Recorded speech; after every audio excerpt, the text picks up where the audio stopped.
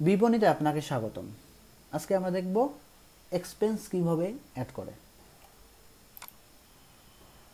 শুরুতেই add এক্সপেন্সে click করলাম।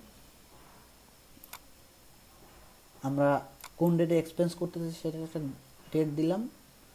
Amount দিতে হবে এবং ক্যাটাগরি সিলেক্ট করতে হবে। কোন ক্যাটাগরির উপর আপনার এক্সপেন্সটা হচ্ছে। সেক্ষেত্রে আমাকে ক্যাটাগরি অবশ্যই প্রিভিয়াসলি অ্যাড করতে হবে।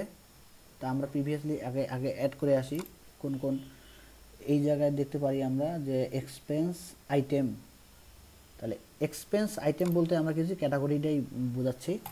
আমরা যদি এখানে এক্সপেন্স আইটেমটা অ্যাড করে দেই সাপোজ রেন্ট সব ভাড়া হতে পারে। অথবা normal expense as you like best আপনার এক্সপেন্স ক্যাটাগরিগুলো আসলে আপনারা অ্যাড করবেন এখানে। সো এখানে আমার একটা লোড রিলোড দিতে হবে আসলে বেসিক্যালি রিলোড না দিলে এক্সপেন্স আসবে না।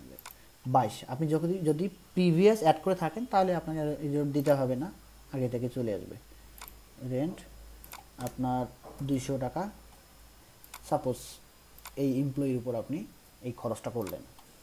অথবা আপনি এটা যদি রেন্ট হয়, তাহলে আপনি দিতে পারেন যে আপনার শপ ওনার বা সামথিং লাইক দিস আপনি যখন অ্যাড করলেন অটোমেটিক্যালি আপনার এই ডেটে দুশো টাকার এক্সপেন্স অ্যাড হয়ে গেল।